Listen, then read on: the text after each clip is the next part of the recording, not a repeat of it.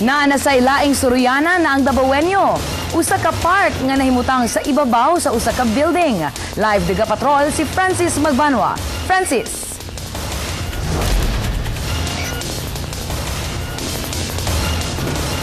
Tama ka Melo kay gawas nga dagang pwedeng laagan dinhi sa The Peak na makalingaw sab ang mga view dinhi sama sa sunset ug city lights.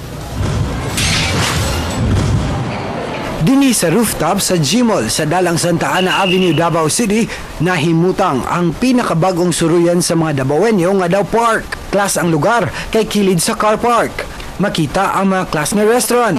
Pero sa tunga, mahingang haka sa kanindot sa design sa mga wishing fountains sama sa pool nga lain-lain color sab ang makita. Nindot sab ang Christmas lights nga gidesign palibot sa peak. Busa nalingaw pag-ayo sa pagpa-picture ang magbarkadang BSIT student sa Holy Cross of Davao College. Bisa ng magbarkada nga gikan sa University of Mindanao dinisab na nuroy human sa ilang klase. Ang ilang barkada nga si Chris Louis Arton dini nasab nag-celebrate sa iyang birthday. First time ko magbakasyon, ay, mamasyal na ganito and then maka-proud jud siya. And nice i-celebrate ang birthday dito. Sa second level, makitaan ang kanindot sa views sa Tibok Davao City panahon sa kagabhion. Para akong bumalik sa States, sa Seattle, nung nagbakasyon kami doon ng buong family, proud ako as Davao, Davaoenyo na may ganito sa Davao. Walay bayad ang pagsuroy sa The Peak kay sumpay lang kini sa Food Cove sa Gmall. Pwede sab kini agion sa car park.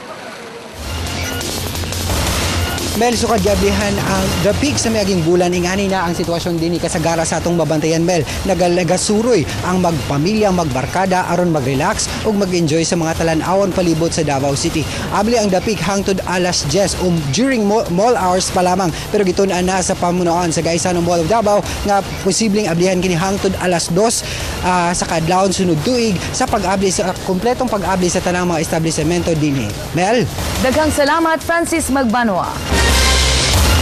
Kapamilya mao kadto ang kinatibukan sa TV Patrol Southern Mindanao karong adlaw nga Miyerkules, Nobyembre 30, 2011. Nga 25 ka adlaw na lang una ang Pasko.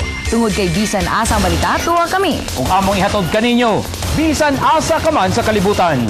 Mayong hapon.